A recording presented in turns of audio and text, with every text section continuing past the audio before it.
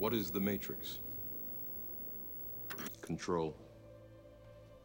The Matrix is a computer generated dream world built to keep us under control in order to change a human being into this.